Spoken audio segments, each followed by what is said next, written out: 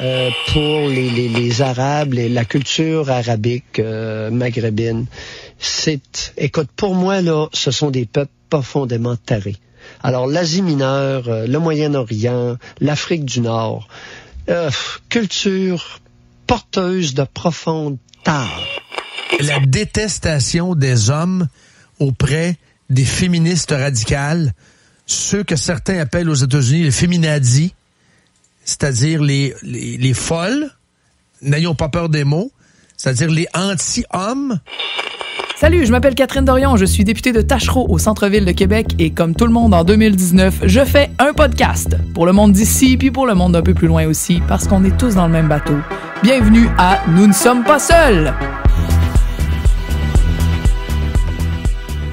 Dans cet épisode-ci de Nous ne sommes pas seuls, on va se pencher sur l'intimidation des faiseurs d'opinion puis sur leur impact sur notre conversation collective publique, autant dans les médias que dans le monde politique. J'ai décidé de jaser avec deux femmes qui en savent long sur les effets de cette intimidation-là, qui sont Dominique Payette et Gabrielle Brassard-Lecourt. On va se concentrer sur deux pépinières de faiseurs d'opinion de droite dans les médias québécois, qui sont les journaux de Québécois et les radios privées de Québec. J'aurais pu en prendre d'autres, mais euh, je trouvais que c'était des études de cas intéressantes, surtout dans la ville de Québec où je suis élu député. Justement, depuis mon élection le 1er octobre 2018, je me suis fait rentrer dedans maintes fois par les médias de droite, surtout du côté des opinionneux de droite et d'extrême droite. Vous avez dû en entendre parler un peu, ça aurait été difficile dans la dernière année de ne pas voir ça aller. Au début, je me disais, bon, c'est normal, tu sais, j'arrive avec une posture qui est claire, qui est intense, euh, j'ai décidé de ne pas être complexé, puis de... C'est ça faire de politique, qu'est-ce que tu veux, tu reçois des claques, c'est normal. Mais plus ça arrivait, plus je me rendais compte que ces opinionneux-là représentaient un réel pouvoir capable d'influencer l'avenir, d'influencer comment on pense en société, un pouvoir qui est non démocratique, qui est porté par l'argent de quelques grands chefs d'entreprise et quelques grosses faces médiatiques, d'ailleurs grassement payées elles aussi, qui avait personnellement des intérêts à défendre, des intérêts de classe, riches, et que ces intérêts-là, c'était vraiment pas ceux du plus grand nombre. Sauf qu'il était très habile à véhiculer ces intérêts-là chez tout le monde, finalement. Et là, il me rentrait dedans avec la certitude d'être des espèces de chiens de garde du pouvoir, vu que j'étais député, des, des, comme s'ils étaient des contre-pouvoirs. Alors que ce que je remarquais, autant parmi la classe politique que chez les organismes et individus à Québec euh, avec qui je jasais de ça, dans mon travail de comté, c'est que le monde avait peur d'eux autres. Que ceux qui osaient remettre leur pouvoir d'influence et d'intimidation en question, soit se faisaient démolir dans ces médias-là, soit euh, devenaient de leur tête de turc, euh, puis on se mettait à parler d'eux, mais de de d'autres choses finalement, de leur habillement, de s'ils étaient laides ou belles, de si et, et finalement des insultes personnelles. Que finalement leur pouvoir à eux, qui était assez grand et manifeste, il n'y avait aucun chien de garde contre lui. Et je me suis dit que c'était pas normal, puis que j'avais la responsabilité en tant que politicienne, en tant qu'élue, de pas m'écraser face à cette intimidation-là, parce que c'est plein de monde dans mon comté qui en ont souffert, qui souffrent encore aujourd'hui de ça. Je me disais, ben non, si je suis là pour les représenter, faut que je représente aussi ce sentiment-là de vivre un peu sous une chape de plomb de la possible intimidation de si tu t'élèves contre leurs idées.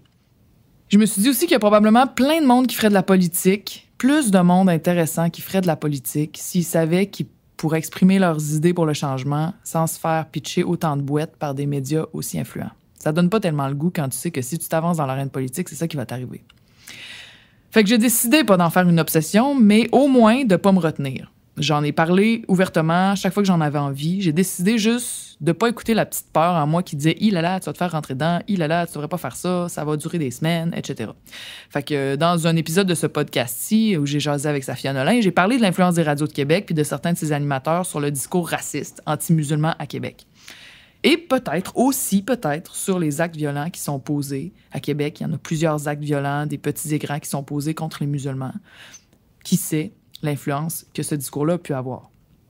Et j'ai reçu, à cause de ça, une mise en demeure de Radio X, une menace de mise en demeure d'Éric Duhem, un harcèlement public dans l'émission d'Éric Duhem sur une semaine sans arrêt, une suite de chroniques incendiaires dans les journaux de Québécois dont le titre était genre Dorion Trump, même combat ou pour en finir avec la Dorion Mania. Et là, je me disais, Colin, c'est donc ben gros la punition que j'ai pour avoir décidé de ne pas avoir peur et de parler ouvertement de ce que je pensais. de ces médias-là. Et tout ça, c'est des techniques d'intimidation. Tout ce qu'ils ont fait, ça aurait dû me faire peur, ça aurait dû me faire reculer, ça aurait dû me faire taire, ça aurait dû me tenir en laisse, mais ça m'a pas arrêté. Non seulement parce que personnellement, ce genre de tentative, c'est psychologique chez moi, ça me donne juste plus envie de me battre pour mes droits, d'exprimer de, ce, que, ce que je pense être juste, mais aussi parce que collectivement dans les rues de Québec, dans ces épisodes-là d'Éric Duhem, puis plus je me faisais rentrer dedans par les médias de droite, plus le monde m'arrêtait en disant Est-ce que ça fait du bien? Continue, lâche-le pas, on est avec toi, c'est bien ce que tu fais, t'es pas tout seul. Et c'était assez manifeste euh, sur le terrain. Plus tard, en commission parlementaire sur l'avenir des médias, j'ai fronté PKP sur mon expérience de blogueuse au Journal de Québec où euh, j'ai souvent eu des pressions pour que je me retienne de dire quoi que ce soit de critique ou de négatif sur Québécois au grand complet, puis sur les chroniqueurs de Québécois, puis sur tout ça, que ça soit dans mon blog ou à l'extérieur de mon blog de Québécois. Et c'est là que les chroniqueurs de Québécois ont réagi avec le plus de rapidité puis dans un esprit de corps absolument impeccable. Six chroniques le lendemain, puis sur le lendemain, je pense, me plantaient dans les journaux un petit peu après. Dans les journaux de Québécois, bien évidemment. Alors, là, je réalisais, OK, non seulement ces faiseurs d'opinion de droite sont en lutte de façon constante pour faire rentrer leurs idées de droite bien profondes dans l'opinion publique, de façon à influencer la politique le plus possible, avec des moyens qui sont incomparables à ceux d'un parti politique ou d'une organisation de la société civile, mais en plus, ils défendent leurs propres petits généraux avec une ferveur vraiment épeurante. En gros, ils sont quelque chose comme des machines de guerre politique dans notre monde. Sauf qu'ils sont pas supposés faire ça. Les radios privées diffusent sur les ondes publiques. C'est des ondes qui sont à nous, qui appartiennent au peuple. Selon la loi sur la radiodiffusion, ils sont obligés de démontrer tous les côtés des enjeux sociaux euh, publics euh, desquels ils discutent, ce qui est vraiment pas le cas. On n'a pas besoin d'écouter longtemps la radio privée à Québec pour s'en rendre compte. C'est pareil pour le journalisme d'opinion euh, qui, pour être reconnu comme du journalisme d'opinion, doit respecter des règles. rappelons que Québécois reçoit 14 millions par an en subventions. Ça, c'est l'argent du monde. Puis que euh, ces règles-là, de base, de ce que c'est du journaliste d'opinion, c'est que ça doit être basé sur des faits. Donc, pas de mensonges, pas d'invention. Ça, juste à lire euh, les chroniques de Québécois qui ont été écrites sur moi, je suis capable d'en relever presque à chaque chronique des inventions puis des, euh, des faussetés, des choses qui sont pas factuellement vérifiées. Ils sont aussi supposés énumérer, faire comprendre une variété des points de vue sur un enjeu. Les deux principaux journaux de Québécois, le Journal de Québec puis de Montréal, prétendent offrir la plus grande diversité d'opinions au Québec dans une section qui s'appelle le choc des idées. Moi, j'ai demandé à la recherche de la SNAT de sortir toutes les chroniques qui avaient été écrites sur moi dans la première année de mon élection, là, et toutes les chroniques qui avaient été écrites sur François Legault aussi. Bon, sur moi, il y en a 15 au total, il y en a 13 qui sont négatives. Sur François Legault, il y en a 23 au total, il y en a 3 qui sont négatives. Vous irez voir d'ailleurs, les titres sont magnifiques. Bon, c'est sûr que ça allait faire ça, me direz-vous, c'est de même, qu'est-ce que tu veux, on, s'y attend, c'est pas surprenant, c'est sûr. Mais là, moi, ce que je me demande, comme actrice du changement social, c'est est-ce que c'est ça qu'on souhaite? Est-ce qu'on souhaite qu'il nous fasse une carapace en triple Teflon pour être capable de faire de la politique euh, de gauche au Québec puis d'apporter des réelles idées de changement? Est-ce qu'on veut continuer à vivre dans un espace où certaines idées vont être difficile à exprimer, puis où le fait de les exprimer va nous amener des punitions de cet ordre-là. Moi, je pense que non, que ça nous nuit profondément. Puis euh, je vais vous donner des exemples de ce que ça produit dans l'espace public. Tout ça avec mes deux invités à l'émission. Nous ne sommes pas seuls.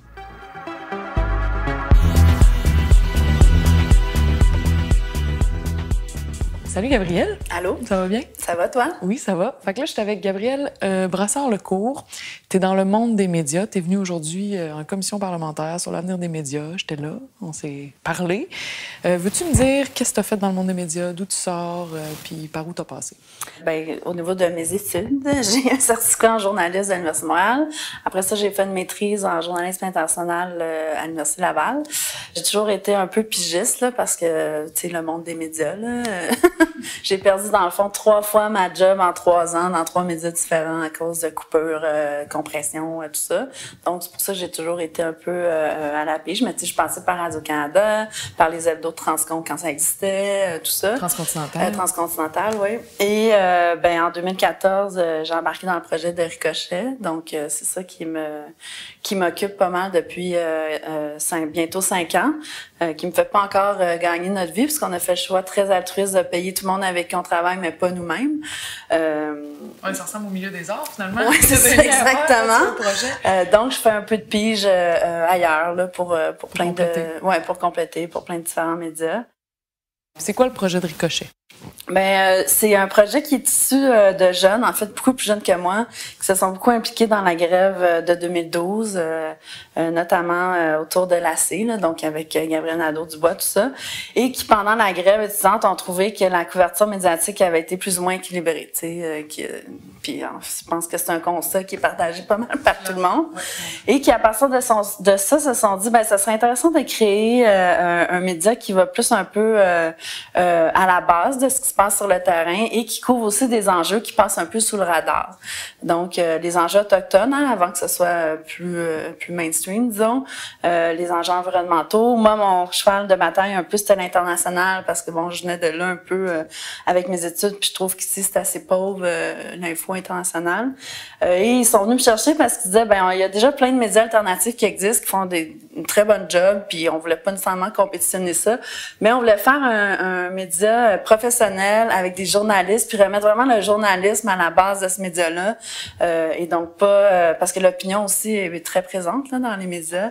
Euh, donc c'est là qu'ils sont venus me chercher pour que moi j'amène un peu mon réseau là, de journalistes indépendants, pigistes, parce que ça faisait déjà quelques années que bon je réseautais avec ça, et que j'avais une petite tendance aussi à gauche, là, faut bien le dire, qui est aussi notre ligne éditoriale à Ricochet, puis bon qui a fait un gros fuss au début là, parce qu'on n'est pas habitué ici que les médias, tu sais, soient positionnés politiquement là, sont toutes neutres, ils sont ouvertement, ouais, ben sont neutres en sont apparence, neutres, mais... sont tous objectifs, alors qu'on sait très bien que c'est pas le cas. Puis même, je pense que ça joue sur le fait que les gens ont moins confiance, parce qu'ils disent comme franchement, fais-moi pas croire que tu es neutre. Je le vois bien dans ce que tu fais jour après jour, tel média, tel téléjournal, que t'es pas neutre ou que t'es, tu sais, chacun a sa, sa ligne ben, éditoriale. Puis tu sais, moi je trouve que la preuve la plus évidente de ça, c'est que quand il y a une campagne électorale, le média recommande pour qui voter. Ouais. Comme les curés avant, comme les curés genre de. de fait que vous pouvez pas dire, euh, que vous êtes pas positionné politiquement. Puis par exemple, en Europe, notamment en France, il y a personne qui se pose la question de si le média est à droite ou à gauche. C'est campé, c'est évident. Puis tu le lis en fonction de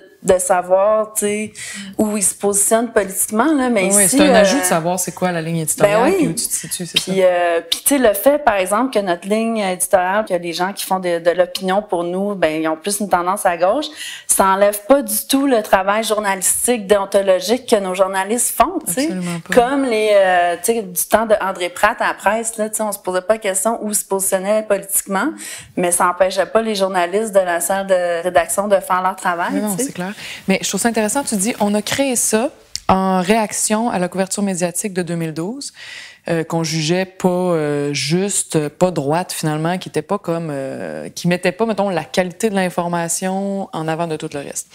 Puis là, ça c'est une tentative de faire exister quelque chose qui dise, ben nous, l'information, l'analyse, tout ça, on veut qu'elle soit vraiment entre guillemets, ben, pas entre guillemets, en fait, détachée du, du profit. Qu'est-ce qui, dans le modèle médiatique, qui est là, qui est accroché à la nécessité de faire du profit, qu'est-ce qui fait que ça joue sur la qualité de l'information pour toi? Sais, simplement, moi, je te dirais le capitalisme. Alors, on revient du sujet! Non, mais tu sais, j'ai fait. Non, c'est vrai. On se disait ça, puis moi, je disais, je dirais pas ça en commission parlementaire, mais tu sais, le problème de la crise des médias, c'est le capitalisme, tu sais, euh, de façon très. Euh, direct, c'est euh, c'est le fait que euh, que le modèle est, on n'est pas capable de réfléchir les médias autrement. Puis tout ce qui fait la crise en ce moment, puis les problèmes, puis tu sais la, la, tyrannie du clic comme on dit là, puis puis la course au profit, tout ça, c'est que on n'est pas capable de penser en dehors du modèle actionnaire publicitaire. Alors que ça, ça influence l'information? Ben c'est sûr. Tu sais, moi, quand je travaillais à Transcontinental, par exemple, qui sont des médias locaux, puis même à Québec, là, il y a des tentatives de médias ultra-locales, puis c'est super important pour les communautés, les médias locaux. Là, les gens le lisent, puis tu sais, nous, en plus, c'est inclus dans les publicitaires, fait que c'était vraiment lu là quand on mettait pas la petite annonce bingo de la madame là on se faisait appeler puis c'est comme un babillard pour les activités communautaires puis tout ça puis c'était des histoires proches des gens aussi euh, mais tu sais on était mettons 10 journalistes puis il y avait 200 vendeurs à côté de nous c'était vraiment intense. Puis il y avait des vendeurs qui venaient nous voir, qui étaient comme, ben là, on a fait euh, l'annonce du garage, ce serait le fun de faire un portrait du garagiste, tu sais. C'était clair de même. C'était clair, de même. Puis là, évidemment, nos rédacteurs en chef se battaient contre ça. Mais là, ils disaient, ouais, mais qui paye vos, qui paye vos salaires? C'est les annonceurs. Fait que si vous voulez pas le faire, ben, vous pouvez aller travailler ailleurs. Puis on est là-dedans. Puis même encore aujourd'hui, tu sais, c'est un peu ça, là, le groupe Capital Média, c'est que on a de la misère à innover, à penser. Puis on voit aussi l'influence de la pub dans les. Moi, je vois souvent les radios à Québec, là, tu sais, qui sont les radios privées. Là, ils ont beaucoup de publicité de concessionnaires automobiles. Puis tu dis comme tu te poses la question, quand sont là, genre, à toujours favoriser l'automobile par rapport à d'autres modes de transport actifs ou vélo en ville, puis sont là, genre, non, non, non, nous autres, les automobilistes, puis là, tu dis, sont-tu, tu sais, c'est, tu peux pas ne pas te poser la question, c'est ben, comme, ben clairement. C'est ça, puis là, bon, donc là, on est rendu un peu à une autre étape où c'est de la genre de publicité déguisée, tu sais. C'est-à-dire que, puis tu sais, là, c'est aussi lié au fait que les médias cherchent des sources de revenus. Donc, ils font des cahiers spéciaux. Mais tu sais, les cahiers spéciaux, là, dans, dans à la presse, au devoir, c'est des entreprises qui payent ça. Mais c'est fait par des journalistes. Le monde ne le savent pas. Non, le monde ne le savent pas. Tu sais, la, la, presse, là, le syndicat s'est battu euh, bec et ongle pour qu'il y ait un petit affaire qui soit écrit extra. Là, Puis là quand tu appuies sur extra, là, tu vois la liste déroulante des entreprises. Mais un, faut que tu le saches. Deux, faut que tu fasses l'action d'aller cliquer. C'est quoi l'exemple de cahier spéciaux qu'il peut y avoir, par exemple? Ben, par exemple, un cahier spéciaux sur l'immobilier, tu sais.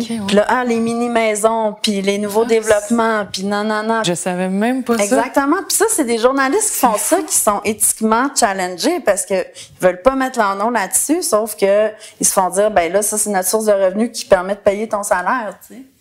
Donc, Mais il n'y a pas une loi euh, qui oblige à le dire quand c'est. Ben oui, là, c'est ça. Là, le syndicat, en tout cas à la presse, là, ils ont négocié qu'il y ait un petit extra. Les cahiers spéciaux du devoir, c'est comme un peu flou, là, tu sais, mais puis c'est ça un peu. Euh, moi, je représente aussi les journalistes indépendants. Puis nous, ben, on en fait du contenu comme ça, puisque. Toi, tu es sur l'association des journalistes indépendants du Québec. Ouais, je préside euh, cette association-là depuis depuis peu. Puis puis on se on se bat contre ça, mais tu sais, les puristes, là, tu sais, les, les, journal les quatre journalistes qui ont des jobs permanents depuis 20 ans dans les médias, là, parce qu'on s'entend qu'il n'y en a pas beaucoup, eux autres, ils nous jugent de faire de ce genre de contenu-là, mais nous, c'est parce que, tu sais, il faut qu'on gagne notre vie, puis... C'est dans ce sens-là que tu dis que la, la nécessité de courir toujours après le cash, donc le fait qu'il faut que ce soit rentable, l'idée que ça rentre dans la machine capitaliste de genre ah ben ton média il faut qu'il fasse faire de l'argent puis tout ça, si tu as tout le temps ça en tête finalement tu nuis directement à la, qualité d'information ben et à la confiance que le monde peut avoir envers ça. Exactement. Puis c'est pour ça qu'il faut changer le modèle économique. Tu sais, moi, je pense que ça revient vraiment à ça. Puis, euh, puis tu sais, nous, par exemple, Cochelle, on s'est même pas posé la question à la création. On est un organisme à but non lucratif, comme la plupart des médias indépendants au Québec qui existent, tu sais, genre Ababar, qui existe depuis comme 35 ans, là, qui est un OBNL, puis plein d'autres médias. Bon, c'est sûr que leurs artisans gagnent pas nécessairement leur vie avec ça, tu sais, donc ça aussi, c'est un problème. Sauf que, euh, sauf que le fait d'être un OBNL ou une coopérative, ben là, tu remets un peu le pouvoir plutôt au aux artisans, puis tu sais que les profits que tu fais, ils sont réinvestis dans les salaires, puis ils vont pas à des publicitaires, des actionnaires, des PDG, euh, des PDG, tout ça, tu sais. Mm-hmm. Fait que, euh, fait que c'est bien que ce soit une des solutions qui est envisagée, là, à mon avis. Mais là, vous avez été menacé en... Raconte-moi l'histoire que vous êtes arrivé avec euh, Richard Martineau. Là, Ricochet faisait son petit chemin. Tu faisais son petit chemin, puis nous, on, on, est, on est bien fiers d'être un OBNL, mais on n'a pas non plus la solution. Tu sais, je veux dire, on se paye pas, on, tu sais, on fait, on fait pas de profit, mais on n'est pas dans le rouge. On est vraiment égal. Fait que, tu sais, tout ce qu'on fait comme argent, on le réinvestit dans du contenu, dans les salaires de nos journalistes, tout ça. Euh, mais euh, nous aussi, là, on a besoin d'aide, évidemment. Euh, puis, euh, une des sources de revenus qu'on voulait, euh, c'était du financement institutionnel. Donc, par exemple, tu sais, aller voir des organismes qui donnent des bourses au démarrage d'entreprise, ce genre d'affaires-là. Mais on a été bloqué par ça à cause, de, entre autres, de Martineau, parce que nous, tu sais, on fait, on a reçu des mises en demeure pour nos enquêtes journalistiques, mais ça, c'est facile à défendre parce que nos journalistes, ils ont fait la job. Donc, tu sais, on répond, on dit, ben voici la démarche que notre journaliste a faite, tout ça, puis on n'a jamais entendu parler mais là, on a un, de nos blogueurs, Marc-André Cyr, qui est un chargé de sociologie à l'UQAM, euh, qui écrit, qui tape sur Martineau depuis des années. Il a écrit pour Le Voir, il a écrit pour le Huffington Post, il a écrit dans le Quack, puis il tapait toujours sur Martineau là, depuis dix ans. Et là, il a euh, publié une chronique euh, qui est une qui était une fausse notice nécrologique, en fait, qui est un style que Martineau a utilisé lui-même dans sa carrière. Là. Nous, on a... C'est une chronique humoristique? Oui, très humoristique, qui faisait un peu ben, comme si faire du bien à bien du monde. Tellement, puis nous, ça, ça, c'est une chronique qui a très bien fonctionné parmi notre lectorat, mais tu sais, notre lectorat, là, euh, il est pas comparable à celui de Québécois, là, on s'entend. Euh, et donc, on a publié cette chronique-là, puis, euh, puis ça a bien fonctionné dans, à l'échelle de notre lectorat. Et ça s'est rendu euh, pour, par, par les médias sociaux, probablement, euh, aux euh, médias de Québécois et donc à Martineau. Et là, euh, tout le monde, euh, tu sais, euh, Martineau a réagi, euh, Sophie euh, Durocher a réagi, Lise Ravary réagi. réagit toujours en bloc. Oui, c'est ça, remarqueras, oui. Il doit avoir un groupe Ben, Facebook privé ou je sais c'est pas où il dit sûr, genre. OK cette semaine. Mais en même temps, nous, c'était comme la première fois que- qu'un qu'un média mainstream de droite s'intéressait à nous. Fait qu'on se disait, ben, c'est de la pub gratuite. Tu sais, Lise Ravary a dit, j'ai lu cette chronique, euh, tu sais, dans, dans euh, à Ricochet, la Rolls-Royce des médias de gauche au Québec. On est Mon comme, Dieu, Hey, la nous, on met ça sur un t-shirt, là, c'est parfait. tu sais. c'est super comme ça. Euh, donc, ça reste un peu comme ça. Puis, en fait, ce qui a fait débouler un peu les choses, c'est qu'à peu près euh, 4-5 mois après la, la, la publication de cette chronique-là, la Fédération professionnelle des journalistes a organisé un panel sur la liberté d'expression. Puis là, ils ont invité notre blogueur, tu sais, pour parler un peu des limites, parce que, tu sais, il y a des gens qui trouvaient que c'était un petit peu, c'était allé loin. Est-il allé trop loin? Est-il Voilà, allé ça trop loin, tout ça? Et ils ont aussi invité Martineau, mais Martineau, il a jamais dit ça dans ses tribunes, mais il est sorti partout en disant, je peux pas croire que la FPJQ organise un panel sur la liberté d'expression où est-ce qu'il invite un chroniqueur qui... euh, Qui maillit. Qui maillit, puis qui, euh, tu sais, qui, qui défend ma mort, là, tu sais, puis qui... Puis, Mais en fait, euh, tout ça, il faisait de la victimisation. Oui, oui, tout à il, fait. il disait pas cet homme doit mourir. Non, Dans sa chronique, non. c'était vraiment une chronique humoristique. Oui, puis oui, vraiment. Puis tu sais, lui, ça, ça- il nous disait en nous accusant qu'il y a du monde qui aurait pu penser qu'il était mort pour vrai. Il y a personne au Québec qui a lu cette chronique-là puis qui a pensé qu'il était mort pour vrai, là, honnêtement, tu sais. Puis ça faisait un retour sur sa carrière puis sur les idées qu'il avait euh, promues pendant qu'il était vivant. C'était pas, ça s'attaquait pas à lui comme un chum ou comme père de famille ou comme être humain, là. C'était vraiment lui comme chroniqueur.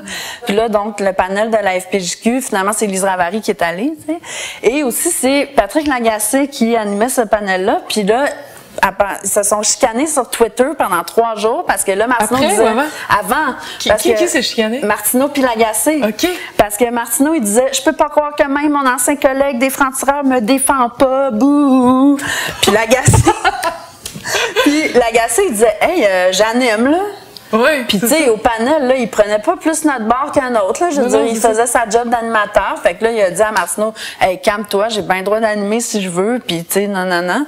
Puis, euh, puis c'est ça. Puis tu sais, Lagacé, c'est supposé être un, un de nos témoins au procès. Là. Imagine comment ça aurait été cool. Parce que lui, par après, il m'a dit, écoute, il dit Martineau en privé aussi, il m'a envoyé des affaires vraiment élevées.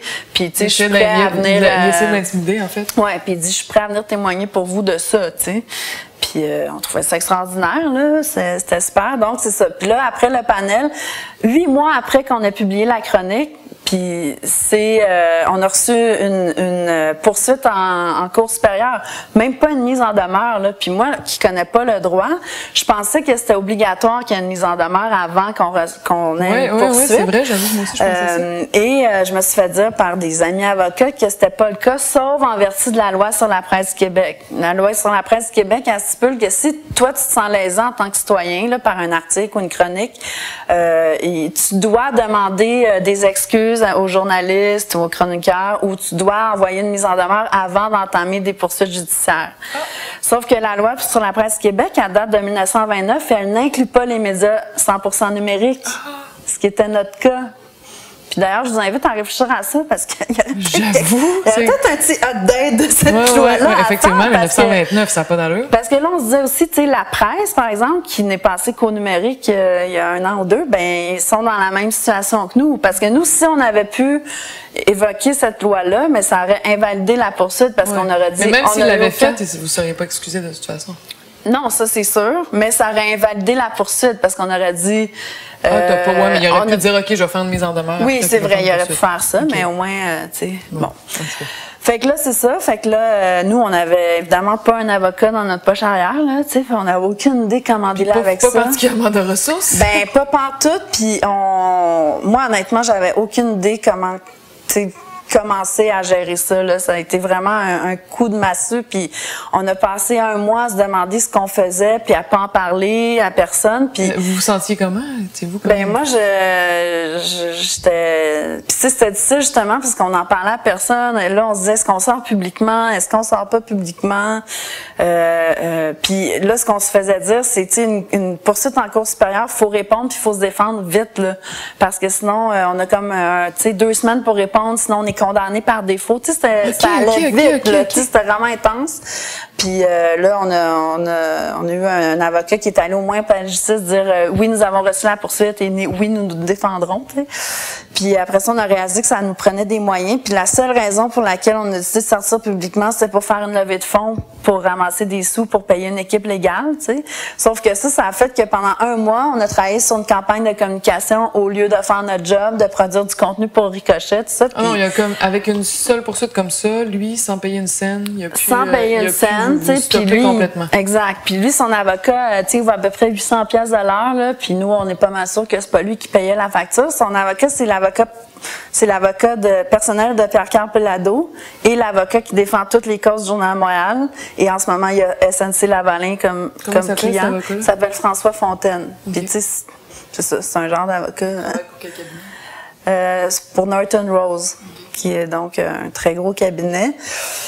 Euh, donc ça a été tu le début euh, moi tu sais j'ai craqué une couple de fois plus euh, dans l'intimité là parce Mais c'était de la pression, c'était comment tu vivais ça, ben, c'était de la peur? Ouais, de, de, la pression, du stress puis aussi de la colère parce que je me disais je trouvais ça vraiment cheap de sa part. Puis injuste parce que il sait très bien qu'on n'a pas de qu'on n'a pas de ressources tu sais. Puis il en veut à Marc-André Cyr de taper dessus. Puis tu sais il aurait pu poursuivre le voir là. Il aurait pu poursuivre la Huffington Post. Mais non il décide de poursuivre tu sais le petit média sans ressources au BNL pour faire un exemple avec une croix facile c'est ça, puis j'ai trouvé ça vraiment cheap. Puis tu sais, moi, quand j'ai reçu ça, je me suis dit, ben là, je peux pas croire qu'on peut pas l'appeler. Puis genre, c'est ça, là, il me semble, ça, ça, c'est complètement ridicule. Puis là, tu sais, on se faisait dire, non, ça se passe entre les avocats, vous pouvez pas vous parler. Puis puis tu sais, c'était une affaire quand même sérieuse là, tu sais, le fait de lui, il a quand même fait la démarche de, tu sais, d'aller voir un avocat, de déposer un truc au palais justice en cours supérieure. Euh, tu sais, j'ai trouvé ça, euh, je trouvais que c'était un peu démesuré, puis puis inhumain un peu surtout, tu sais, puis ça me rendait en colère. je comprends surtout, tu dis, essaies de faire quelque chose qui marche, puis là, tu sais, suffit quelqu'un qui a du pouvoir te dise. Euh... Puis nous là, on est, on n'est pas en train de leur prendre de la pub ou du lectorat, on n'est pas un compétiteur là, tu sais, on n'est rien pour l'Empire québécois, honnêtement, là. Nous, on fait notre petite affaire, J'ai vraiment trouvé ça euh, euh, cheap, mais là, tu sais, pour l'avoir rencontré dans quelques procédures judiciaires, je pense qu'il était vraiment motivé uniquement par son ego. Je peux pas voir d'autre chose honnêtement. Puis lui, il arrêtait pas de nous ramener le fait qu'il était traumatisé de 2012 parce qu'en 2012, il était obligé d'avoir des gardes du corps devant chez lui pendant la grève étudiante parce qu'il y avait des carrés rouges qui allaient l'intimider, tout ça. Puis nous, on était comme OK, t'es peut-être t'es peut-être t'as peut-être un choc personnalité de 2012, mais c'est quoi le rapport avec nous, tu sais? À part qu'on est issu de ce mouvement-là, je veux dire, puis c'est parce qu'ils réalisent pas aussi qu'il est en lutte. Tu sais, je me dis, genre, des fois, ils disent souvent, mettons, même des chroniqueurs euh, du style de Martineau dire, hey, euh, on est le chien de garde, là. Tu sais, nous autres, on regarde les politiciens. Puis on... c'est drôle comment mon expérience, moi, depuis que j'ai été élu, j'ai pas de pouvoir, j'en ai un certain. J'ai plus de pouvoir, j'ai plus d'influence, puis j'ai, on est une petite PME dans le fond, à notre bureau de comté, on peut faire des affaires, faire des campagnes. J'ai réussi à avoir une espèce d'attention médiatique dont je peux me servir, mais sinon je suis dans l'opposition. On est, euh, tu sais, j'ai pas de, je suis pas millionnaire pantoute, loin de là. Puis tu sais, je suis comme, finalement, Martineau a infiniment plus de pouvoir que moi. Puis là, genre, je me retrouve dans des émissions où ils me disent, ou certains médias de ce type-là, tu sais, vont me dire. Euh, ah là, c'est parce qu'on check le pouvoir, puis là, vous autres, vous êtes, comme si j'étais quelqu'un de dangereux parce que j'allais prendre le pouvoir, puis je suis là, mais tu t'es-tu regardé, genre? Tu sais, la force que tu as, la puissance que tu as de facto dans la société québécoise, puis contrairement aux politiciens, qui nous, on se fait rentrer dedans chaque fois qu'on fait de quoi qui n'est pas, genre, attendu, contrairement aux politiciens, les personnes osent vous checker, puis ceux qui le font, ils ont peur ou ils sont, ils sentent qu'ils se mettent en danger un petit peu, puis tu sais, il y a beaucoup de critiques, mais les critiques à leur rencontre sont souvent de monde qui ont rien à perdre, entre guillemets, dans le sens qu'ils n'ont pas un nom dans tel ou tel. Tu sais, ça va pas freiner, soit là, ça va pas atteindre leur job, leur ascension sociale, ta, ta, ta. Mais dès que tu es comme un petit peu quelqu'un, un prof dans l'université, un, un, dès que finalement tu as un petit peu d'influence, ça devient épeurant de euh, faire les checks and balances sur le pouvoir que normalement on fait genre aux politiciens, mais que là, eux autres, ils ont du pouvoir. Ben puis oui, certains d'entre eux sont des, avec leurs écrits, puis leur popularité, sont des quasiment des machines de guerre politique. Là. Ils font plus de politique que bien du monde qui sont à l'Assemblée nationale ou, clair. à la Chambre des communes. Puis euh, tu dis comme, OK, mais qui, tu sais, mettons, Québécois, tu sais, qui ose parler contre Québécois sans Ben, avoir peur de qu'est-ce qui va se passer? tu sais? Exact. Puis, ouais, moi, ça, ça me fascine un peu ce- que ces gens-là aient tellement de tribunes, puis de pouvoir, puis qui tiennent les propos qu'ils tiennent en toute impunité, tu sais. Puis le fait que Martineau nous poursuive, là, nous, là, on s'est, pendant trois ans, on s'est auto-censuré à mort, là. Ah ouais? Ben oui. Nous, on avait un blogueur qui s'appelait Xavier Camus, tu sais, qui s'intéresse beaucoup à l'extrême droite, puis qui, est com- qui a commencé avec nous. Mais à un moment donné, il nous envoyait plein d'affaires avec plein de noms de plein de monde. Puis nous, on était frileux, on disait comme, ben là, on est en poursuite, puis on, tu sais, si on se faisiez fait l'autocensure. Vous vous sentiez obligé de faire de l'autocensure? Tout à fait. Puis Ouais. il est parti de son bord, puis je comprends, tu sais. OK. Fait que comment ça s'est réglé? Ben là, c'est ça. Nous, on était, euh, tu sais, ça a pris du temps. On a fait des poursuites, on a fait des interrogatoires hors cours. Après ça, on attendait notre date de procès. Puis entre la, la, la, la fois où on a eu notre date puis le procès, il y a eu un an et demi. Donc là, on faisait juste attendre le procès. Mais nous, là, ça trois ans que, tu sais, on a été euh, bloqués de tout financement institutionnel parce qu'on avait un casier, euh, tu sais, judiciaire. Euh, puis on s'auto-censurait, tout ça. Que nous, on était prêts à aller au, au front, là, tu sais. Puis surtout dans, dans, dans l'esprit qu'il y avait en ce moment, de, tu sais, où toi, tu avais reçu une mise en demeure. euh, il y avait comme un bon momentum pour aller en procès contre lui, mais aussi pour défendre la liberté d'expression, euh, tu sais, un peu la droite contre la gauche, euh, les petits médias contre l'Empire, tu sais, il y avait tout ça. Puis finalement, lui, jusqu'à la dernière minute, il nous a fait suer, il nous a envoyé un projet de règlement hors cours, genre cinq jours avant le procès, qu'il avait déposé à la cour. Donc, euh, nos avocats étaient comme, ben là, le juge est au courant, ça veut dire qu'il va vous forcer à régler anyway, tu sais. Parce que là, si vous arrivez en cours, puis là, le juge dit, ben là, vous avez même pas essayé de régler. Euh, C'est pas que bon pour vous autres, c'est pas bon pour nous autres, ça mettait nos avocats dans une position un peu difficile. Puis on se disait ben au moins on peut contrôler le message si on le fait avant, tu sais. Mais moi je dois avouer que tu sais même avec mes avocats là, je me suis chicanée parce que nous autres on voulait aller au front tout ça puis mais nos avocats nous disaient vous pouvez pas aller en cours juste pour faire du spin médiatique. Puis on était comme oui, c'est ce qu'on veut.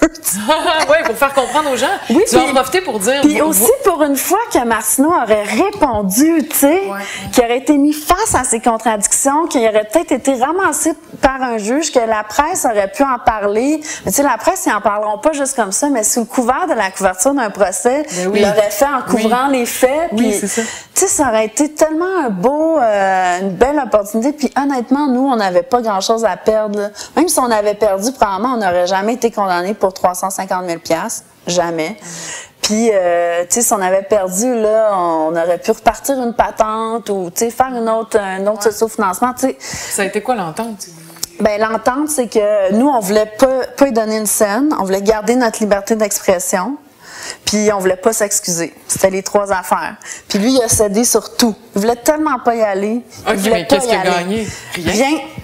OK, Ben, c'était lui- juste l'intimidation? C'est juste l'intimidation. Mais lui, suite euh, au règlement, ben, en fait, il voulait qu'on euh, publie un, un communiqué de presse commun. Là. Puis son premier projet qu'il nous a envoyé, c'était une condescendance sans nom. Là. Mais nous, c'était sûr qu'on n'allait pas accepter ça. Fait que finalement, on a comme retravaillé un communiqué qui, euh, qui nous faisait quand même bonne figure. Puis tu sais, la sortie a été positive pour nous. Mais tu sais, moi, j'ai un petit peu des mixed feelings parce que j'aurais aimé ça aller au front. tu dis tant qu'à me faire attaquer, ça donne le goût de te lever Ben de battre. tellement. Mais je comprends puis, tellement. Pas juste pour nous, là, pour, Hey, moi pour, aussi, pour moi, tout le drôle. monde. là, il voulait, quand j'étais euh, au. euh, c'est où dans- c'est dans le podcast, ce même podcast-là avec Safia Nolin, où j'ai dit, euh, où on jasait des, des radios privées de Québec, justement, puis on disait que on parlait de leur, leur impact sur l'islamophobie au Québec, puis par extension sur la tuerie de la mosquée. Il disait, bon, Éric Duhem s'est excité, puis Radio X m'a envoyé une. Éric Duhem m'a dit en ondes, je vais t'envoyer une mise en demeure. Je vais envoyer une mise en demeure à Catherine Dorion. Puis Radio X nous a envoyé une mise en demeure. Puis tu sais, il y avait du monde autour de moi qui était là, oh mon Dieu, tu dois capoter. Puis j'étais comme, mais qui me poursuivent, genre? Je suis comme, tu sais, je risque pas de mourir, là. On va, tu sais, on va. Moi, j'ai besoin qu'on règle cette question-là à la face de tous, là. Je, sais c'est quoi les valeurs au Québec. Puis honnêtement, là, je pense que d'un point de vue, genre, de ce que les gens vont constater de la réalité du terrain, d'à quel point c'est. Euh, à quel point. Euh, ils n'arrêtent pas de parler de liberté d'expression, mais dans le fond, ils, par l'intimidation qu'ils font, soit en disant, soit en menaçant sous couvert de bâcher quelqu'un. Tout le monde a peur de se faire bâcher par eux publiquement, soit en faisant justement des mises en demeure ou des poursuites. Il y a une forme d'intimidation qui, elle, clairement nuit à la liberté d'expression. Je veux dire, bien plus que quoi que ce soit dont tu te plains, là. Euh, tu sais, c'est comme... Puis je trouve quand même, entre médias, là, il y a quelque chose qui marche pas, qu'on n'ose pas les critiquer. Tu sais, pour moi, c'est incroyable qu'il continue en toute impunité puis qu'il n'y a pas plus une, mobilisation de la part des autres médias puis de la part de la population. Euh. je pense que tôt ou tard, va falloir qu'il y en ait une parce que ce qui arrive, c'est que là, les, à cause de, disons, comment, comment on pourrait euh, qualifier les médias dont on vient de parler? mettons, la puissance de l'opinion, puis qui est aussi un statement politique très, très clair, très puissant, vu que l'argent se situe de ce côté-là.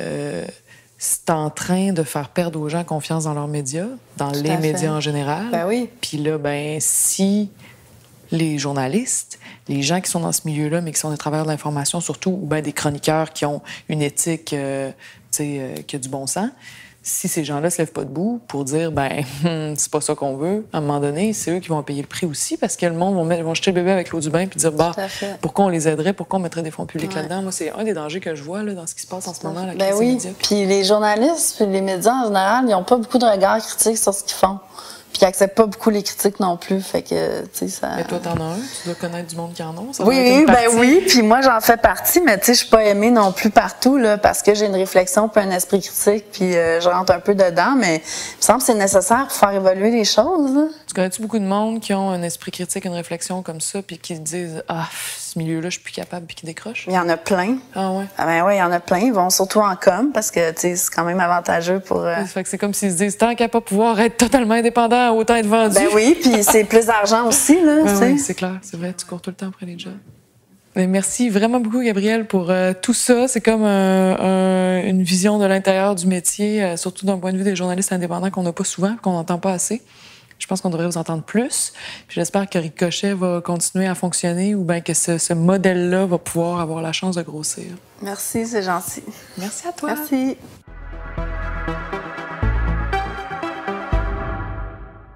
Alors, on est avec Dominique Payette. Bonjour, Madame Payette. Bonjour, Catherine. Vous avez été journaliste à la radio, à la télévision, vous êtes sociologue, vous êtes professeur à l'Université Laval au département d'information et de communication. Et on vous connaît euh, bien ici pour euh, avoir dirigé le groupe de travail de ce qu'on appelle aujourd'hui le rapport Payette, donc sur l'information au Québec en 2011, sur l'avenir des médias, et dont on parle beaucoup maintenant en période de crise des médias. Oui, d'ailleurs, c'est amusant parce qu'il y avait beaucoup de choses dans ce rapport qu'on a tabletté purement et simplement, mais qui reviennent évidemment à la surface aujourd'hui. Ça a l'air d'être une constance, euh, le tablettage de rapports. dans le domaine des communications, il n'y a aucune industrie qui a été autant examinée et il n'y a aucune, mais aucune recommandation qui n'a jamais été adopté, sauf le financement des, euh, des médias communautaires qui était dans la, la, commission Kaplan-Sauvageau. Puis on n'a jamais atteint le fameux 4 qu'on était supposé non, atteindre. C'est ce qu'on entend. Il n'y a jamais aucune recommandation qui a jamais été appliquée. Hum, c'est fou. Mais si le rapport qui m'intéresse encore plus aujourd'hui, c'est celui que vous avez écrit un rapport de recherche en 2015. L'information à Québec, un enjeu capital, qui était commandité par, euh, qui a été demandé par par Madame Marois, Pauline Marois à l'époque, et qui parlait oui, c'était à titre personnel. C'était pas une, une, une, étude pour le Parti québécois. C'était une requête personnelle de Madame Marois parce qu'on en avait parlé à l'occasion et que Québec représente 11 circonscriptions francophones qui détiennent un très important pouvoir. La, région de Québec, on va le voir encore aux prochaines élections, euh, même au fédéral, on va voir que c'est un, la région de Québec est un enjeu électoral très important qui permet très souvent de donner euh, un gouvernement majoritaire ou minoritaire. Ah, Donc c'est un enjeu colossal. Et c'est pour ça que euh, l'information, les médias à Québec, et là vous avez parlé beaucoup des radios dans ce rapport-là, est un enjeu politique, représente en fait une force politique importante au Québec. Oui, c'est une force politique importante parce que euh, ce sont des médias de propagande. Et là, on parle des radios privées de Québec. On parle des radios privées de Québec qui sont deux ou trois ou quatre. Selon la définition. Ça, varie. Non, pas selon la définition, mais en fait selon la ligne qui est, commerciale qui est choisie à une, époque, une époque ou une autre, à un moment ou à un autre, etc. Et quand je l'ai fait en, 2000, en, 2015, on parlait de trois radios qui étaient euh, les trois plus importantes, aussi celles qui récoltent au fond le plus l'auditoire le plus large. Et qui sont?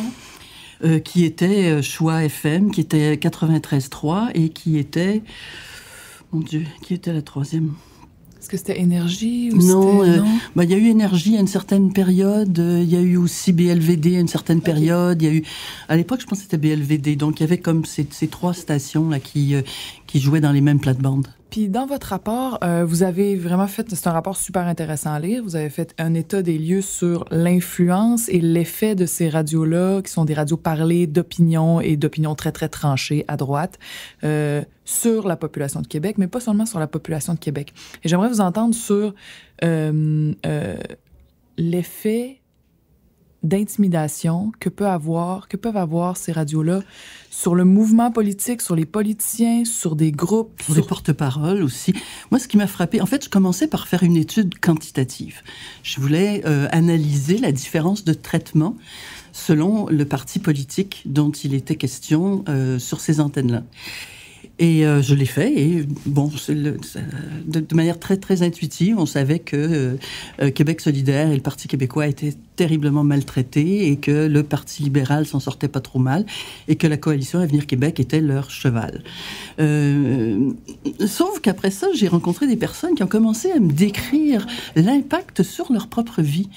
Et euh, je, me suis aperçu au fond qu'il y avait une espèce de régime de peur qui prévalait dans les organisations qui étaient les cibles de ces radios.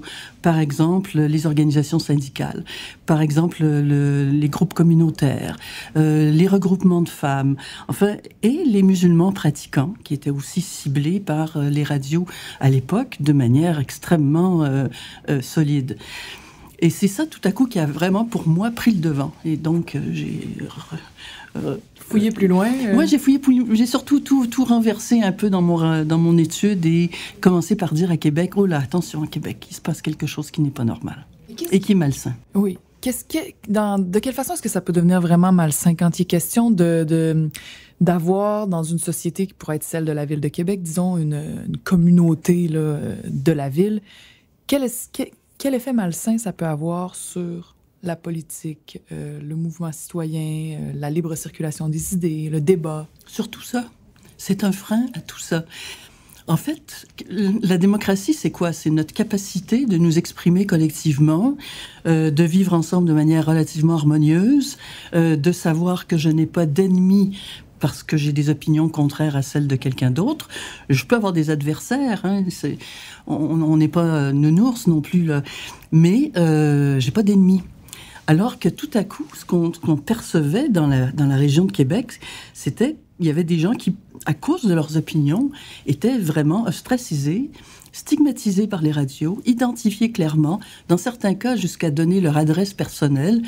Euh, leurs enfants étaient la cible dans les cours d'école. Enfin bref, et, et, ce régime de peur, il, il, il, est, il est pas normal dans une démocratie. Et comment il s'installe? À, à, travers quoi? À travers quel type de discours euh, quelle Des façon menaces. De... On faisait des menaces. Euh, un, un, des problèmes des, des radios, et, et, et elles-mêmes ne contrôlent pas leurs partisans.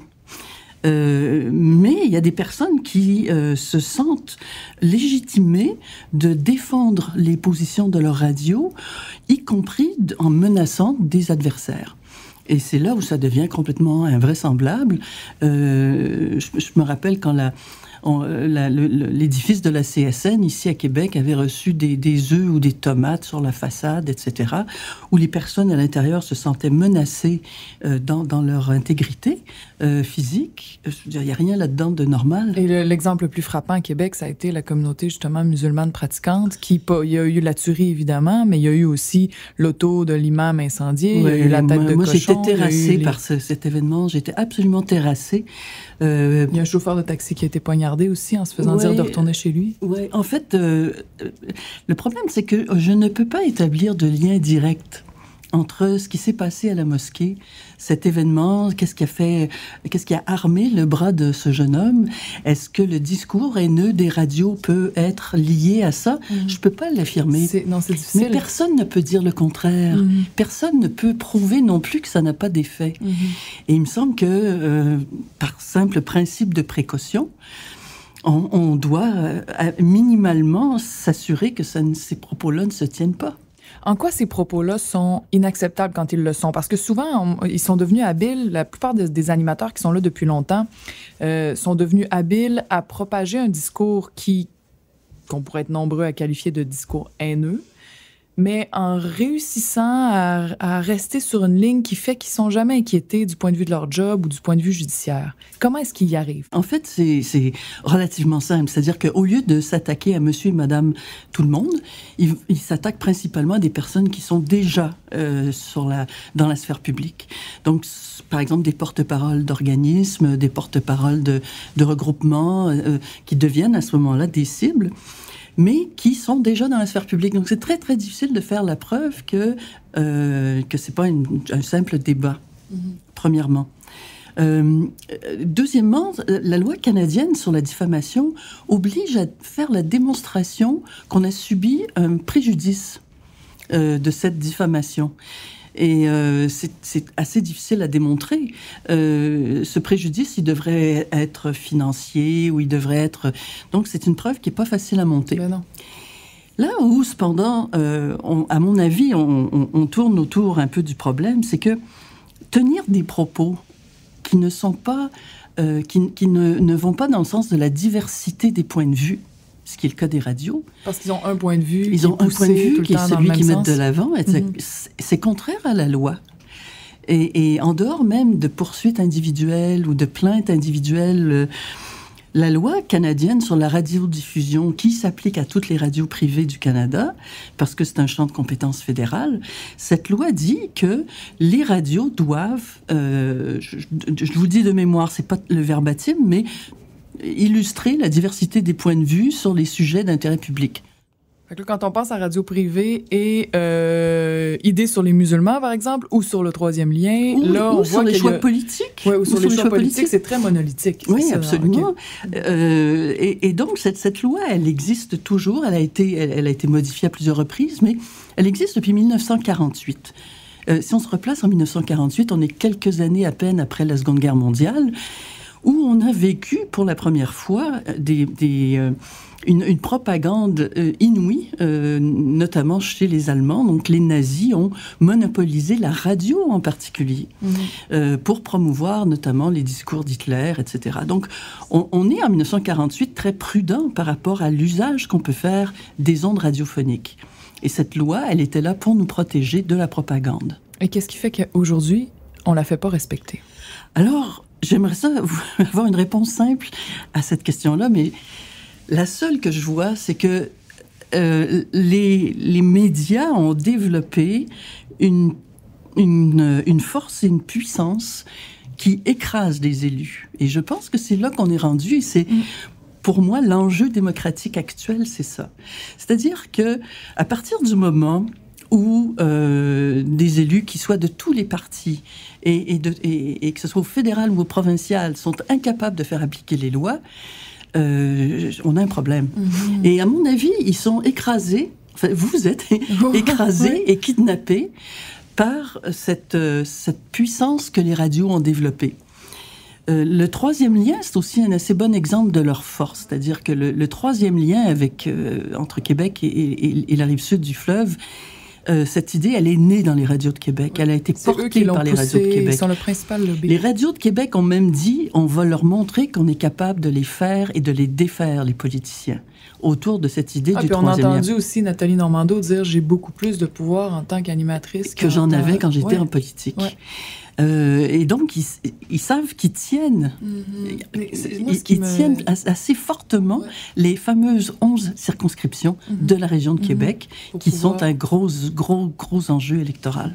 Ça me fait euh, capoter en bon français parce que j'ai euh, j'ai vécu dans la dernière année donc une je, me suis mise toute seule à un, à un, moment donné après mon élection chaque fois que je faisais un pas de côté qui était pas celui qu'on attendait d'une politicienne normale donc plutôt traditionnel, qui, traditionnel disons, qui ouais. fait pas de grandes vagues au niveau mobilisation sociale qui fait ce qu'on attend, fait tes discours en chambre et c'est tout.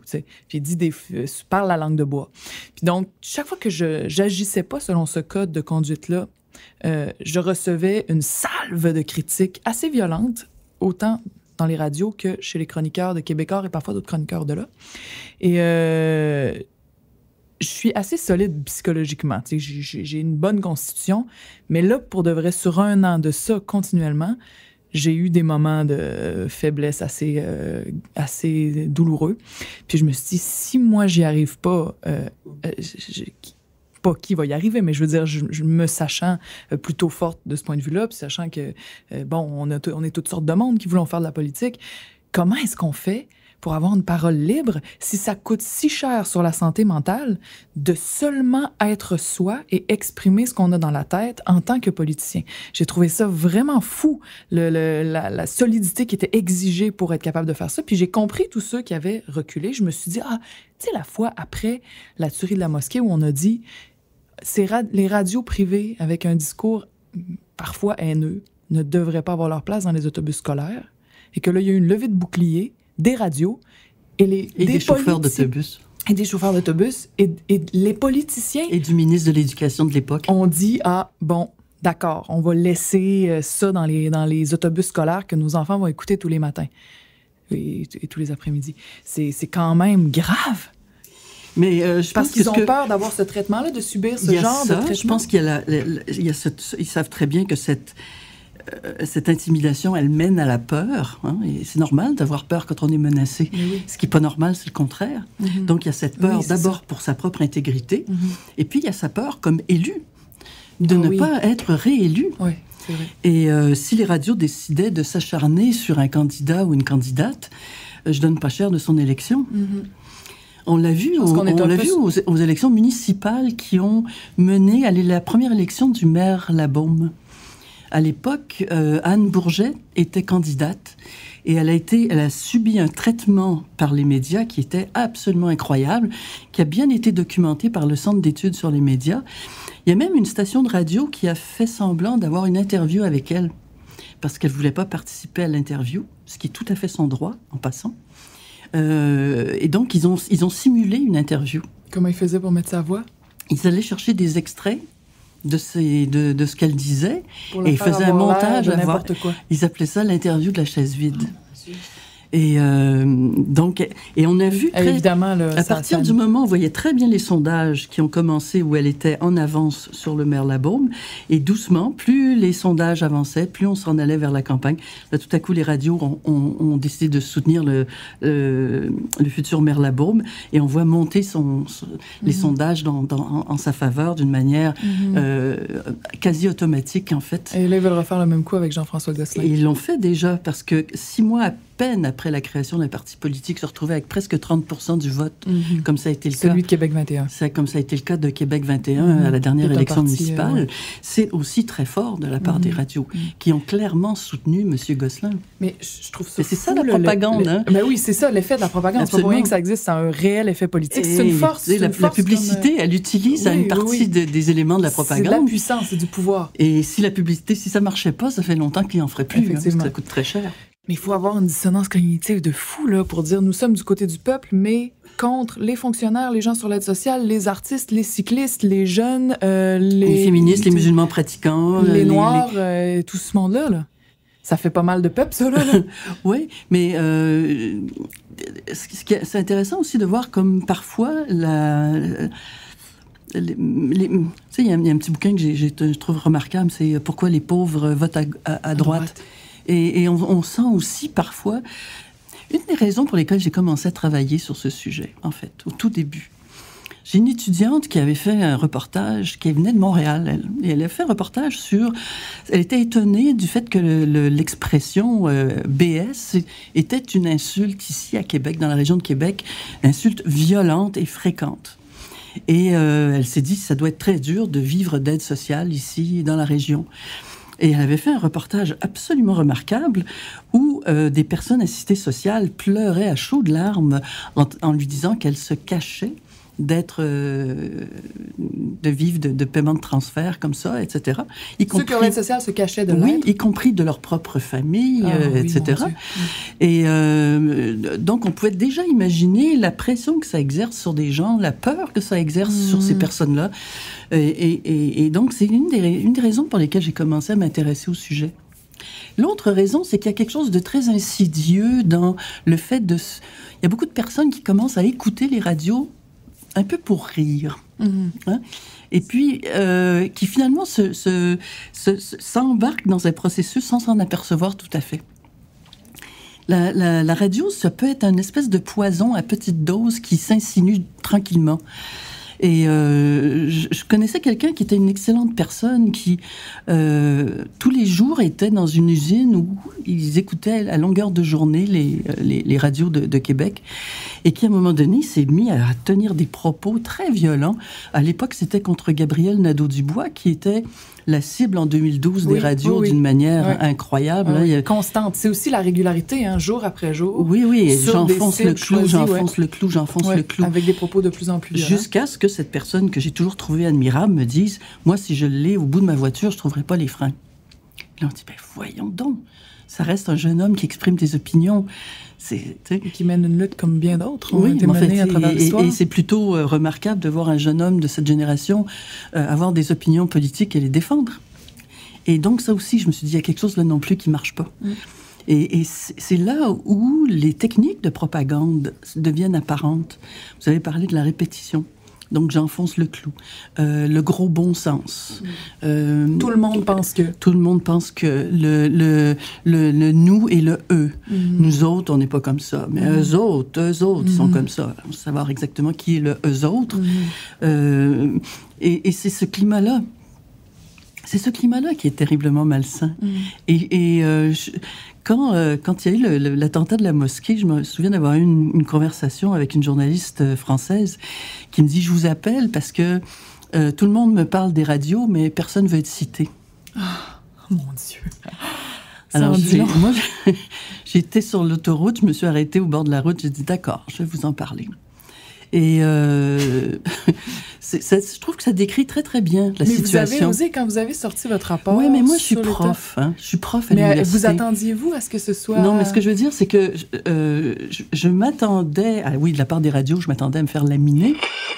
sais pas si elle est d'accord là-dessus, mais il y a peut-être un point seulement avec lequel moi, personnellement, je m'entendrais avec la paillette, c'est que c'est vrai qu'elle aide. Elle aide dans tous les sens du terme, sa personnalité. Il n'y a rien d'intéressant dans ce qu'elle dit, en passant. Oubliez pas que ça, c'est professeur à l'université, en journalisme. Mais je m'attendais pas à me faire laminer de manière aussi large, donc y compris même par les médias euh, plus traditionnels. Ça, ça, j'ai été étonnée de voir un journaliste dire euh, je suis Radio X. Oh mon Dieu. Hein, parce qu'on était un peu à la, on était, on était, on était un petit peu à la suite de, de Charlie Hebdo, Ah de oui. l'attentat de Charlie Ah oui, oui. Hebdo. Donc c'était je suis Radio X. Tu dis oh my God, je pars Mm. de loin. Ah oui. Mais Euh, ils ont un effet aussi sur le milieu journalistique à l'extérieur des radios.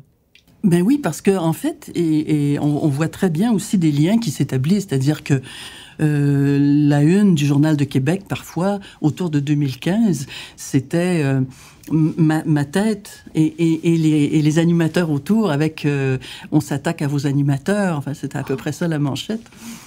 Euh, non, c'était pas, c'était pas évident. Donc, il y, a des, il y a des espèces de liens aussi, ou de, on pourrait dire soit l'intimidation ou le. Ben mais- oui, mais vous avez aussi des animateurs qui sont chroniqueurs dans ces, Ouais. euh, dans ces médias-là c'est vraiment pas étanche. C'est pas étanche. Et puis évidemment, ça fait, ça fait du tirage. Ça fait vendre des, de la copie chaque fois qu'il y a une polémique, euh, comme quand, quand, quand vous avez euh, été euh, victime de cette polémique-là. Mais moi, c'est des choses que je pouvais pas dire. Je pouvais pas dire en mêlée de presse directement comme ça quand ça arrivait. Mais moi, je voyais bien qui était. J'arrivais avec des idées environnementalistes. euh, à gauche, là, c'était assez clair, les idées de Québec solidaire, mais j'arrivais avec une nouvelle façon de les formuler qui était populaire, disons, qui, qui pognait auprès d'un d'un d'un public qui s'intéressait pas tant à la politique jusqu'à ce moment-là. Puis moi, c'était le travail que je voulais faire. C'est pour ça que j'étais venue faire la politique.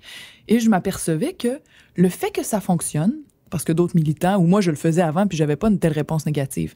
Mais le fait que ça fonctionne faisait réagir qui? Pas la coalition Avenir Québec, pas les politiciens de, de, droite qui sont là comme moi, députés ou même ministres ou premiers ministres. Ça faisait réagir très fortement des groupes très, très, toujours les mêmes. C'était Mhm. les chroniqueurs de Québécois et les radios privées, les animateurs des radios privées de Québec. Ils se retrouvaient dans, ça. Il y a des liens entre eux, on le sait, puis il y a des liens même entre les, euh, radios elles-mêmes et les médias, euh, Journal de Québec, Journal de Montréal et tout ça, mais euh, le fait que ce soit si, systématique, si facile à voir, je, disais, ben là, on va le dire, c'est eux. Ils sont, clairement, ils sont un groupe d'intérêt, puis ils veulent absolument pas que ces nouvelles idées-là émergent parce que ça va contre leurs intérêts, puis contre leur, leur je sais plus, une nébuleuse d'intérêts dans laquelle ils se trouvent enfoncés, là, en plein milieu, puis mais c'était difficile de dire ça parce que dans le milieu politique, s'attaquer aux médias en général, on fait pas ça. Parce qu'il y a la fameuse liberté de la presse et la fameuse liberté d'expression Voilà. euh, qui sont réelles, Ben oui. qui existent Mhm. et qui Qui sont sont à défendre. protégées. Absolument. Mais ça n'a rien à voir avec ce qui se passe, avec ce pouvoir euh, que, les, que certains médias ont développé. Ça n'a rien à voir avec la liberté de la presse et la Mhm. liberté d'opinion. Surtout quand il s'agit de balancer des insultes euh, sans, sans, sans se baser sur des faits. Oui, ou bien quand il s'agit de, de faire euh, la promotion d'un parti au détriment de tous les autres, Mhm. ou, ou quand il s'agit de, de- d'agir sur la vie politique au lieu de la, de la décrire et, et d'en débattre. Mhm. Donc on n'est pas du tout dans la liberté de la presse là-dedans, ni dans la liberté d'opinion. Sauf que pour les, euh, les acteurs politiques, c'est très difficile. D'abord parce qu'ils savent, Ben oui. d'abord ils connaissent pas beaucoup comment ça marche. Mhm. Et j'ai été toujours étonnée de voir le, le- le sentiment d'impuissance par rapport au contenu des médias. Ah oui, on a, reçu- oui, oui. On a reçu beaucoup de lettres euh, suite Et c'est assez euh, surprenant parce Ouais. que parce que en fait on est on est leur public. En fait ils sont à notre service. Les ondes sont publiques, c'est-à-dire qu'elles nous appartiennent comme un bien collectif. Mhm. Un propriétaire de licence de diffusion, de permis de diffusion n'est jamais propriétaire des ondes sur Mhm. lesquelles il diffuse, etc. Donc en fait c'est à nous. Mais curieusement, on n'a pas cette réaction de propriétaire par rapport aux médias qu'à mon avis on pourra avoir comme citoyen, comme citoyenne. Qu'est-ce qu'on pourrait faire pour euh, assainir le discours? Est-ce qu'il y a quelque chose à faire où on est rendu dans une telle spirale que... Qui- Euh, Ou même dans l'idéal, même si ça paraît bien difficile, qu'est-ce qui devrait être fait? Qu'est-ce que... Ben, je pense que ce qui devrait être fait, c'est, primo de, de, de rappeler la loi sur la radiodiffusion. C'est de, c'est de ramener les propriétaires de, de stations de radio, euh, qui sont d'ailleurs d'assez grands euh, groupes, hein, euh, personne qui est dans la misère là-dedans. Là. Ah. Mais leur rappeler qu'ils ne sont pas là seulement pour faire de l'argent, ils ne sont pas là seulement à Pour cause vendre la publicité. pour vendre la publicité. Ils sont là également pour faire de, l'information citoyenne. Donc, Et- ils doivent avoir un point de vue varié. Ils des points de vue ils, variés. doivent avoir des points de vue variés sur tous les sujets d'intérêt public. Et en fait, c'est ça la procédure Mhm. Parce journalistique. qu'on voit bien que des hein. fois, ils vont, par exemple, faire venir quelqu'un qui est contre le troisième lien, par exemple, puis euh, ils le font venir. Puis ils disent, voyez, on fait venir quelqu'un d'autre, mais ils le plantent tout le long de l'entrevue. Un, ils le plantent pendant tout, tout le long de l'entrevue. Deux, ensuite, ils prennent des appels au téléphone qui vont contrecarrer tout ce qui vient d'être dit. Et euh, Ils vont faire un post éditorial. Tertio, ils vont faire des, ils vont aller chercher des extraits de ça. Ça va rouler sur Internet pendant 24 heures.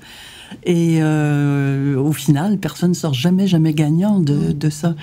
Et euh, ils ont aussi une façon de dénoncer l'expertise. Hein, l'expertise, et, et ça c'est très probablement un des éléments les plus insidieux du discours, euh, de leur rhétorique en général, c'est il n'y a pas d'expertise, il n'y a que des opinions. Et toutes les opinions se valent, y compris par exemple une expertise sur le climat ou une expertise euh, d'urbaniste ou une expertise d'ingénieur sur la construction des tunnels, Ouais, etc. ouais, ouais, ouais. Ce sont des opinions à leurs yeux, ce ne sont pas des expertises. Et ça, ça mine aussi, à mon avis, beaucoup le climat actuel. Ah oui, ça c'est clair. Et donc ça, c'est par rapport à la diversité des opinions sur ces radios-là. Mais qu'est-ce qu'on fait par rapport à euh, la limite qui est souvent franchie du discours haineux, qui peut se rapprocher de l'incitation à la haine qui est supposée être illégale? Ouais, moi, je, continue de croire euh, aux plaintes. Euh, un des problèmes qu'on a, c'est que euh, le CRTC, donc le- qui, qui, qui est cet organisme qui, en principe, doit gérer les plaintes, a donner à un autre organisme cette responsabilité, sans qu'il y ait de modification à la loi, assez curieusement, dans les années 90, ça fait un bon, bon moment, et c'est le Conseil canadien des normes de radiodiffusion. Et le CCNR, en fait, est un organisme patronal qui est entièrement financé par les radiodiffuseurs et euh, qui reçoit les plaintes et euh, qui, dans la plupart des cas, les déclare euh, irrecevables. Mm-hmm. Ou alors, on va dire au contraire, on a déjà traité de cette question-là et la plainte a été rejetée, donc je rejette la vôtre. Et, et entre le, le, CRTC et le CCNR, ça passe pas. Euh, il n'y a pas de courant, il n'y a pas de communication? Il n'y a pas de communication. Le CCNR n'informe pas le CRTC des plaintes qu'ils euh, reçoivent. Euh, le, le, CCNR a déjà répondu à un journaliste de l'actualité. Euh, ben, ils ont juste à visiter notre site, ils vont voir les plaintes, sont, sont là. Enfin, mais donc, il n'y a absolument aucune, aucun fa aucune façon de réagir à des propos haineux répétés jour après jour, semaine après semaine. Ben, le CCNR, à l'occasion, de... va, va, va dire ça, c'était pas bien. OK. Euh, sauf qu'il y a des cas où, par exemple, je sais pas, moi, il y a eu une menace contre des euh, contre des cyclistes à un certain moment, et le CCNR a conclu euh, que c'est normal dans l'état actuel de tension entre les cyclistes et les automobilistes, parce qu'il y a quelqu'un qui avait dit qu'il y a des cyclistes qui méritaient de se faire écraser. Ah, pendant la campagne anticycliste de certaines radios à Québec, on a tous expérimenté, tous les cyclistes du centre-ville ont expérimenté tout à coup Ouais. sorti de, nulle part, de la violence venant des automobilistes euh, qui clairement habitaient pas au centre-ville, n'étaient pas des auditeurs. Ça a été le cas aussi au moment de l'ouverture de la troisième voie réservée aux autobus sur l'autoroute. Oui. Hein, il y a des voitures qui sont allées couper les autobus pour les obliger à freiner Mm. et qui ont téléphoné à la station pour dire Hey, je l'ai fait, je l'ai fait, je l'ai fait. Euh, et, et, le CCNR sur les cyclistes a dit que c'était dans le fond comme l'expression de cette euh, de, de, de, cette mauvaise humeur des automobilistes à l'endroit des cyclistes et que c'était pas grave. Donc il y a eu plusieurs décisions comme ça qui sont euh, pour le moins laxistes, disons que je me retiens dans mon vocabulaire. Donc on pourrait dire pour euh, conclure euh, que il faut il y a que les institutions il y a quelqu'un qui, qui, est responsable du CRTC hein, mm. à Ottawa. Il y a un ministre qui est responsable du CRTC. C'est qui en ce moment, est-ce qu'on sait? Euh, en ce moment, c'est euh, Rodriguez. Oui, exactement. OK. Donc, il est responsable du CRTC. Euh, il y en aura peut-être un nouveau euh, sous peu. Mais c'est leur responsabilité de voir à ce que le CRTC applique la loi qui, qui l'a constituée et fasse respecter la loi. C'est un tribunal administratif. Et donc, pour que les politiciens agissent et que les institutions encadrent réellement les propos qui vont trop loin, euh, euh, et ce qui ne respecte pas les lois de la, de la radiodiffusion, faut qu'on joue sur, ce climat d'intimidation-là. Faut qu'on arrive, dans le fond, à, créer un mouvement, un moment où les politiciens prennent conscience du fait qu'ils ont un choix à faire. Soit ils, ils se laissent intimider, soit ils disent, ben, j'ai une responsabilité. Oui, mais est-ce qu'ils vont pouvoir... L'idéal, ce serait qu'ils agissent collectivement. C'est ça. C'est-à-dire que d'un, comme un seul homme, ils viendraient oui. nous dire, ça marche pas. Mm -hmm. euh, D'abord, ça les protégerait, mm -hmm. parce que oui. le fait d'être plus nombreux, ça, ça fait moins peur. Oui. Euh, et puis, c'est sûr que ça agirait probablement aussi. Mm -hmm. Ce fut très intéressant, Madame Payette. Merci. Je suis désolée, j'aimerais ça avoir une solution là, tu sais, comme. Ben, comme moi ça. aussi. Je non, mais on pas. cherche, on cherche, puis euh, en cherchant, on va finir par trouver. Moi, je suis convaincue. Merci ça beaucoup. Ça se peut pas que ça demeure comme ça. Il y a trop de gens qui, euh, et qui en ont marre. Et, et la radio est un média tellement extraordinaire, ah, oui, qui a une telle puissance et qui pourrait Mm. tellement être extraordinairement pédagogique. Mm. Merci sur ces beaux mots. Salut, bonne fin de journée. aussi. C'est ce qui conclut le premier épisode de notre nouvelle saison de Nous ne sommes pas seuls. J'espère que vous n'êtes pas trop déprimés, mais euh, ce que j'espère surtout, c'est que ça vous donne le goût de faire quelque chose contre cette ambiance-là. Euh, on vous invite à nous écrire au catherine.dorion.tasc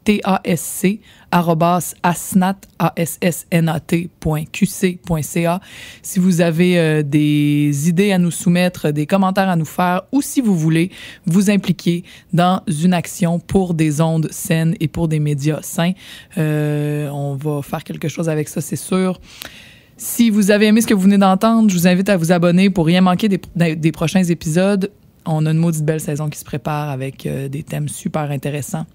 Ah oui, important, l'édition et le mixage sonore de Nous ne sommes pas seuls est une gracieuseté du Mixbus Studio, qui est un autobus scolaire converti en studio d'enregistrement nomade.